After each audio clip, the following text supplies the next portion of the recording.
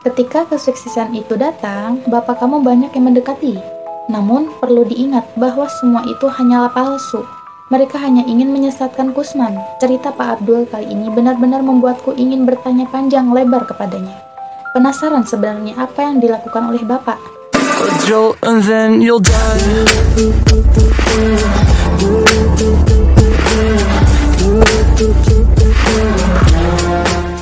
Assalamualaikum warahmatullahi wabarakatuh. Halo Sobat Meng.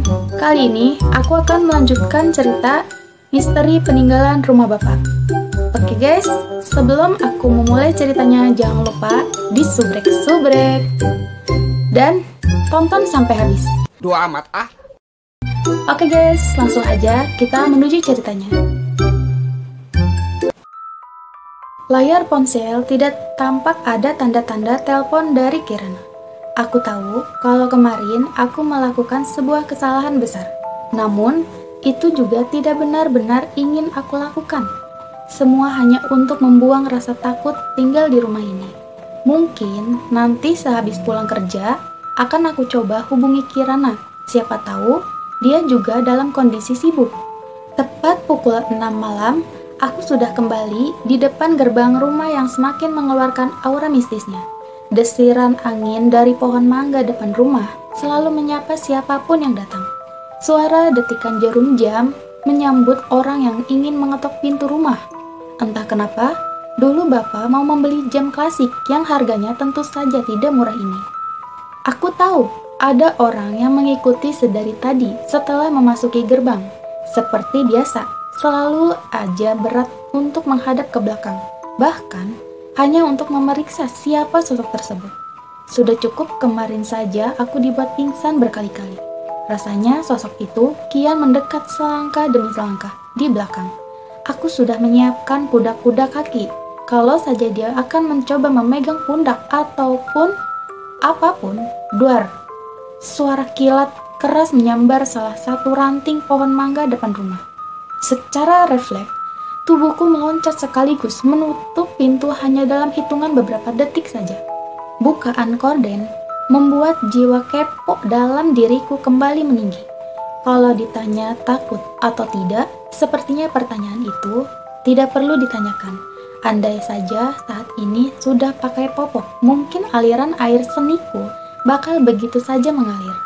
Bekas sambaran itu mematahkan salah satu ranting itu bukanlah sebuah pemandangan yang aneh karena mengingat kilat saat itu cukup besar. Namun, aliran darah sudah hampir keluar dari ubun-ubun. Sebuah sajen terletak di bawah pohon dekat ranting pohon yang patah akibat sambaran petir. Aku bukan orang yang terkena amnesia. Ingatan ini benar-benar masih berfungsi. Sedemikian baiknya. Tidak, sajen itu sebelumnya tidak ada di sana ujarku sambil terus mengamati ke arah pohon mangga. Dan setelah beberapa saat, aku menyadari adanya sajen di bawah pohon. Listrik padam, semua kampung padam. Namun, ada satu rumah yang tidak padam. Saat yang lainnya padam, yakni rumah milik Pak Joni, benar-benar tidak beres. Kalaupun rumah itu memiliki sebuah pembangkit listrik sementara, tetap harusnya ada jarak beberapa menit lampu di rumah tersebut. Mati, Kecurigaanku semakin menjadi-jadi sesaat setelah beberapa warga datang dan mulai berkerumun di depan rumah Pak Joni. Kaki tanpa perintah langsung saja keluar rumah untuk mengetahui apa yang sebenarnya terjadi.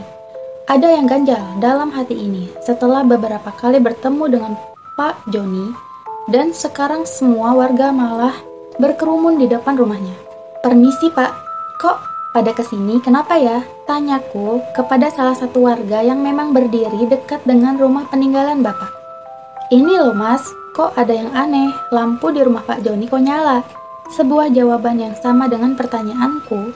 Memang ada yang aneh dengan rumah ini, atau tepatnya si pemilik rumah ini, yakni Pak Joni, saat rumah yang lainnya menghidupkan lampu, rumah ini malah padam dan seperti tidak memiliki kehidupan. Namun saat yang lainnya padam, rumah ini malah hidup. Seperti tidak ada sinkron dengan kondisi rumah lainnya. Mungkin pakai genset kali pak, ujarku yang coba menjawab pertanyaan si bapak tadi. Ya, nggak mungkin lah mas. Lawang itu rumah tidak ada yang tinggal kok. Pak Joni dan sekeluarga sudah lama meninggal sekitar dua tahun yang lalu. Meninggal? Termasuk Pak Joni? Iya mas, mereka meninggal bunuh diri secara bersama-sama. Ini orang bercanda atau tidak? Orang aku masih ingat benar kemarin Pak Joni masih memberiku segelas air putih. Sedikit ngobrol tentang apa yang aku alami di rumah peninggalan Bapak. Pak, jangan bercandalah. Kemarin Kolo masih ngobrol sama Pak Joni loh. Tanyaku mencoba memastikan kepada bapak di hadapanku. Namun, sebuah hal janggal kembali terjadi. Tidak hanya bapak itu saja yang menatapku tajam, namun juga orang yang mendengar ceritaku. Mas, jenengan serius? Jenazah Pak Joni beserta keluarga dimakamkan di dekat pemakaman umum dekat sini. Kalau jenengan tidak percaya, besok saya hantarkan ke sana. Hantu? Benarkah? Seseorang yang kemarin aku jumpai bukanlah manusia, namun hantu. Tidak mungkin. Lalu apa yang aku minum kemarin? Sebuah tanda-tanda tanya terus saja berlontar dalam hatiku. Yang pasti, besok aku bakal ke makam untuk memastikan benar atau tidaknya Pak Joni sudah meninggal. Dan aku juga sudah lama belum nyekar ke makam keluargaku. Hari ini, Aku sengaja izin kerja setengah hari untuk memastikan kalau Pak Joni memang benar-benar sudah meninggal. Dan sejak kemarin rumahnya didatangi banyak warga. Sosok Pak Joni seperti menghilang. Namun, sosok perempuan yang selalu berdiri di ballroom atas rumah keluarga Pak Joni masih saja setia di sana. Langkah kaki ini berhenti tepat setelah menutup daun pintu rumah. Dering handphone terdengar dari balik saku celana.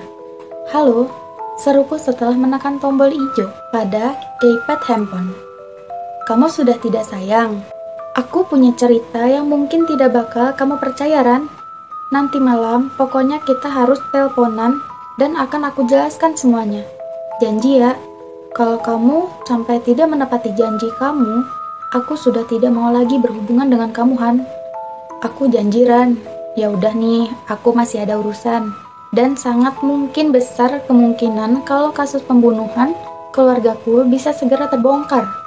Aku segera menutup sambung telepon dari Kirana karena Pak Agus sudah menunggu di depan gerbang, seperti masih berasa dagdikduk dalam dada. Percaya tidak percaya apakah benar-benar Pak Joni sudah meninggal? Kalaupun semisal sudah meninggal, lalu siapa yang kemarin menjadi sosok Pak Joni? Jangan bilang kalau itu hantu. Dan kalaupun itu hantu, Lalu air putih yang kemarin disuguhkan itu apa? Masa itu darah tapi warnanya kok putih? Maaf Pak Agus, agak lama basa-basiku kepada Pak Agus yang baru kemarin aku kenal setelah kejadian yang benar-benar menampar akal sehatku. Tidak apa-apa kok mas, saya juga baru sampai. Ya udah langsung aja kita ke lokasi. Lokasi TPU dengan rumah memang tidak terlalu jauh, hanya sekitar 500 meter saja, lumayan untuk mengeluarkan keringat di pagi hari. Apalagi suasana kampung yang lumayan rimbun membuat jalan menjadi sesuatu yang tidak perlu melelahkan. Saya kemarin terkejut loh pak, sewaktu jenengan bilang kalau Pak Joni sudah meninggal dunia. Ujarku untuk membuka obrolan yang mungkin akan mengurangi rasa suntuk di jalan. Jangankan jenengan mas, Kola saja juga kaget kok sewaktu Mas Burhan bilang ketemu sama Mas Joni Jenengan adiknya Pak Joni? Iya mas, Pulo adik kandung Mas Joni. Kaget juga sewaktu mendengar dua tahun yang lalu satu keluarganya meninggal dengan cara yang misterius. Misterius gimana pak? Mas Joni dan keluarga ditemukan dalam keadaan seperti orang bunuh diri. Tetapi Kula masih ragu dengan diagnosa tersebut. Setahu Kula, keluarga Mas Joni orang yang taat dengan agama. Obrolan antara aku dan Pak Agus terus berlanjut. Dan tanpa sadar kami berdua sudah berada di tempat di gerbang PPU Lelayu. Ingatanku kembali lagi, berputar di dua tahun yang lalu, benar-benar hancur saat itu. Harus memakamkan ketiga orang yang benar-benar aku sayangi. Tidak terasa, sudah dua tahun berlalu. Dan kejelasan tentang kematian mereka masih belum bisa diungkap oleh kepolisian. Dulu sempat ingin meminta bantuan kepada dukun untuk membantu mencari tahu siapa pelakunya. Namun, imanku masih kuat dan menolak untuk melakukan perbuatan yang bisa mengakibatkan syirik ini. Ternyata, tangisanku tidak sendiri. Di sampingku, Pak Agus meneteskan air mata. Mungkin dia teringat tentang kakak dan keponakannya yang ditemukan meninggal dengan cara bunuh diri. Pak Agus mulai menuntunku memasuki makam. Rasanya benar-benar tidak kuat, harus menyapa lagi mereka yang sudah tenang di sana. Namun, rasa bersalah karena tidak ada di samping mereka saat musibah itu terjadi membuatku kembali kuat. Langkah kami semakin dalam menyusuri makam. Perjanjian awal adalah menengok dan mendoakan makam dari keluarga Pak Joni yang kemudian dilanjutkan dengan ke makam bapak, ibu, serta Mbak Lestari. Tiba-tiba langkah Pak Agus terhenti dan memberitahukan bahwa di depan itulah makam keluarga Pak Joni. Tanpa perintah, aku mendekat ke makam yang sampai saat ini masih belum percaya kalau Pak Joni sudah tiada. Dan benar saja, tubuhku menjadi sangat lemas setelah batu nisan di hadapanku tertulis nama Joni bin Abdi. Pak Agus yang mengetahui tubuh ini bakal ambruk pun segera mencegahnya dengan menahan dari belakang dan kemudian diajak duduk. Aku melihat kesedihan yang luar biasa dari wajah Pak Agus. Tidak tega rasanya untuk mengajak dia ke makam keluargaku. Secara diam-diam, aku meninggalkannya. Ya Tuhan, rasanya masih belum percaya kalau ketiga tubuh orang yang kusayang ini sudah terbaring kaku di bawah batu nisan ini. Dan meskipun sudah dua tahun berlalu, Motif serta pelaku pembunuhan pun belum bisa terungkap. Aku berjanji, Pak, pasti pelakunya akan segera kuungkap. Ujarku dalam batin di depan makam Bapak. Air mata rasanya sudah tidak bisa lagi terbendung. Setelah mendoakan kehidupan abadi, aku kembali ke tempat pemakaman keluarga Pak Joni, yang letaknya tidak terlalu jauh dari makam Bapak, Ibu, dan Balastari. Pak Agus nampak masih tetap kusyuk mendoakan saudaranya tersebut. Mau tidak mau, aku kembali duduk di sampingnya. Tiba-tiba, angin bersayup-sayupan di dekat kami. Tubuh Pak Agus yang sebelumnya dia mulai menunjukkan reaksi. Dan tiba-tiba dia lari begitu saja meninggalkanku dengan wajah kebingungan. Dan karena angin semakin membuat bulu kuduk berdiri, aku juga mengikuti langkah seribu Pak Agus. Dasar patua, orang lagi kusuk doa, kena angin langsung lari gitu aja. Ujarku dalam batin sambil terus mengejar Pak Agus, yang sudah seperti babi hutan aja larinya. Sampai di luar makam, aku melihat sosok Pak Agus yang sedang bersandar di salah satu tembok warga yang rumahnya berhimpitan dengan makam. Ternyata masih ingat kalau ada aku di sini juga toh dia. Maaf mas, tadi kola wedi banget soalnya. Ujarnya sambil terus mengatur nafas. Takut sih takut pak, cuma kok ya pas kusuk masih bisa takut. Balasku dengan wajah sebal kepadanya. Respon Pak Agus hanya tertawa tanpa dosa. Kami pun memutuskan untuk berpisah di tepi jalan. Aku harus segera pergi ke kantor. Sementara Pak Agus juga harus segera merawat kebunnya. Karena hanya setengah hari saja, jadi kerja seakan cepat selesai. Namun, sosok cerewet tetapi begitu sayang denganku sudah aku bayangkan akan mencecarku dengan berbagai pertanyaan. Dan benar saja, Baru saja tubuh ini menginjakan kaki di halaman rumah setelah bekerja, ponsel berdering dengan nama di layar tertera Kirana. Mau tidak mau, aku harus mengangkatnya. Halo Han, ini sudah malam ya? Jadi, janjimu aku tunggu. Ujar Kirana langsung to the point. Iya sebentar, ini saja aku baru sampai rumah. Nanti mau beres-beres badan dulu, mandi juga. Kalau sudah semua, nanti aku telepon balik balasku. Ya udah, aku tunggu. Sepertinya tidak perlu aku mendetail apa yang aku dan Kirana bicarakan semalaman. Sudah seperti tersangka pembunuhan yang diinterogasi oleh penyidik saja. Banyak sekali pertanyaan. Karena badan yang benar-benar lelah, aku sampai ketiduran. Padahal Kirana saat itu sedang bercerita tentang rencananya untuk menyusulku di Solo. Maafkan aku Ran, bukan maksud meninggalkanmu, tapi memang rasa mengantuk berat. Tidak pernah terpikirkan sejak datang ke Solo namun tiba-tiba mimpi semalaman itu hadir dan melihat sosok yang sangat aku kenal. Ya, Pak Abdul, salah satu sahabat Bapak yang seingatku rumahnya juga ada di Solo. Aku sering diajak ke rumahnya oleh Bapak. Pak Abdul ini sosok orang yang mungkin tahu tentang masalah yang dialami Bapak selama ini. Sebagai seorang sahabat, tentu Bapak sering menceritakan segala masalah yang ada di hidupnya. Aku mencoba untuk kembali menghafal alamat rumah Pak Abdul karena seringnya dulu diajak ke sana jadi tidak begitu susah untuk kembali menghafal alamat rumahnya. Ya, aku bakal menemuinya setelah pulang kerja. Dering telepon di meja membuyarkan lamunanku. Terlihat di layar nama, Kirana. Kamu itu jahat, Han. Aku kecewa denganmu. Tiba-tiba, Kirana langsung berkata seperti itu, tanpa menyapa atau apa pun. Kemarin itu aku belum sempat menyelesaikan pembicaraan, tiba-tiba sambungan telepon dimatikan olehnya. Mungkin karena kemarin malam aku tidak sengaja ketiduran, membuat kecewa dan akhirnya sekarang masih dalam mode marah besar. Aku sudah mencoba menghubunginya kembali, tapi selalu gagal. Kirana pasti butuh waktu, dan aku percaya bahwa kami masih akan saling mencintai. Ini hanyalah cobaan sesaat. Segera aku bersiap-siap untuk pergi ke kantor agar tidak terlambat. Setiap guyuran air dari gayung, aku hanya menambah rasa bersalah kepada Kirana. Melukai perempuan yang selalu ada bukanlah perilaku yang baik. Seperti biasa, aku ditemani oleh abang-abang ojol untuk pergi ke kantor. Ada obrolan yang cukup menarik di dalam perjalanan tersebut. Lo jenengan tinggal di rumah itu mas? Tanya abang-abang ojol kepadaku dan masih memikirkan Kirana. Iya mas, memang ada apa ya? Balasku dengan rasa penasaran. Memangnya rumah peninggalan bapak terkenal? Kalau tidak salah, itu rumah yang kabarnya ditemukan mayat satu keluarga. Jenengan keluarganya mas, ujar abang-abang ojol yang sepertinya cukup tahu berita tentang kejadian dua tahun yang lalu. Iya mas, saya anak kedua dari pemilik rumah tersebut. Dan kebetulan saya waktu itu sedang kuliah di luar kota. Balasku sambil melihat kondisi kota Solo di pagi hari. Saya turut berduka cita ya mas, namun bukannya ingin lancang. Sebenarnya ada yang ganjil dengan kejadian tersebut Ujar abang-abang ojol yang membuatku tertarik dan mulai fokus kembali kepadanya. Iya mas, tidak apa-apa. Aneh bagaimana mas? Tanya aku dengan rasa penuh penasaran. Setelah kejadian tersebut, saya mencoba masuk ke rumah itu. Mohon maaf kalau saya lancang mas. Cuma ada yang ganjil di sana. Kematian itu seperti sebuah kematian yang terjadi karena kerjasama dengan jin. Ujar abang-abang ojol yang tidak langsung aku balas.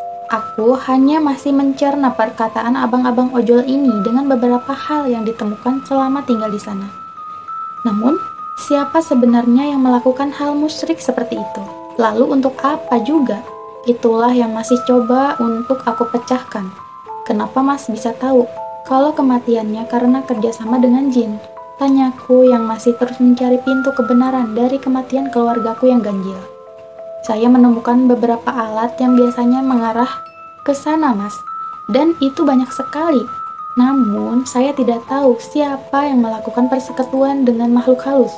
Obrolan kami akhirnya terputus karena tujuanku sudah terlihat. Aku tidak menyalahkan abang-abang ojol. Menjadi karyawan perusahaan startup itu memang ada yang suka, namun juga ada pula yang duka. Tangan, mata, dan pikiran aku pacu untuk mengejar pekerjaan yang memang belum selesai. Lagi hikmatnya bekerja, tiba-tiba. Deburhan, suara yang sangat aku kenal terdengar dari belakang tempat dudukku saat ini. Bukan sesuatu yang aneh jika di belakang seseorang bisa lewat. Sementara ini tidak di belakangku, tidak memungkinkan siapa pun bisa lewat. Bulu kuduk langsung berdiri tanpa komando Pandanganku seakan kosong, tidak tahu mau berbuat apa. Suara itu, Mas, kenapa bengong saja dari tadi? Ujar salah satu teman kantor yang ternyata memperhatikan tingkahku. Oh, tidak kenapa-kenapa mas, sebentar aku mau ke pantry dulu. Balasku yang sedikit kaget dengan sapaannya. Inilah salah satu kenikmatan kerja di startup. Apalagi kalau bukan bebas makan dan minum pada jam kapan pun pekerjaan harus selalu selesai sesuai dengan deadline perusahaan. Segelas kopi sudah siap kunikmati untuk menenangkan pikiran yang sempat tidak karuan hari ini. Baru saja satu tegukan kopi hitam panas, sosok bayangan hitam terlihat di sela-sela korden di depanku.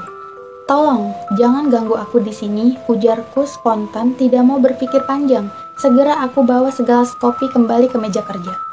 Wih, enak nih, Pagi-pagi minum kopi panas, ikut buat ah, ujar teman yang kebetulan hari ini duduk di sampingku. Iya mas, apalagi kalau pikiran sedang penuh kayak gini. Balasku dengan menggodanya menggunakan segelas kopi yang masih tampak asap panasnya. Dia hanya mengerutkan wajahnya dan berlalu Di hadapanku, sudah pasti ke dapur. Tangan dengan cepat bergegas membersihkan meja kerja. Seluruh barang pribadi tidak lupa aku masukkan ke dalam tas.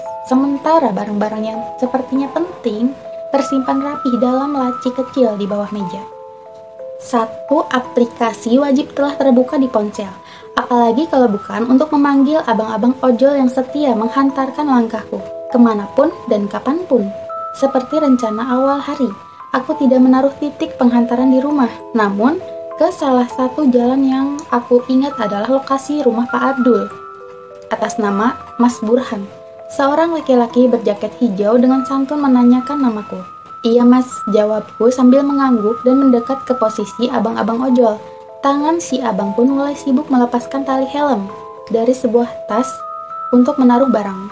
Respon tidak kalah cepat pun juga aku lakukan. Segera helm bercorak khas tersebut aku pakai. Mas, ini lokasi sudah sesuai dengan maps ya? Tanya si abang sambil melihat-lihat isi maps. Di belakang, aku masih membenarkan posisi duduk. Benar mas, Cuma nanti saya minta untuk mencari rumah di daerah sana. Tenang mas, saya kasih bonus sendiri kok, ujarku yang disambut anggukan dari si abang. 30 menit perjalanan, aku sudah sampai di jalan yang ditunjuk maps. Mataku terus melirik kanan dan kiri. Tidak jarang, aku meminta kepada abang ojol untuk berhenti dan bertanya kepada warga setempat. Karena Pak Abdul ini merupakan orang lama sekaligus juga orang yang memiliki nilai di kampung tersebut, aku tidak begitu susah menemukan lokasi rumahnya.